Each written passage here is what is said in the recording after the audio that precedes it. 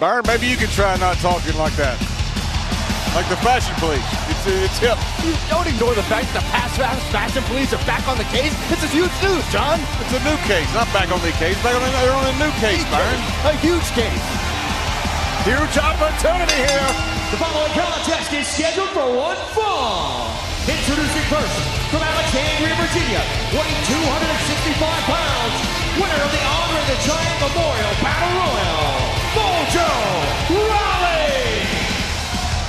Joe.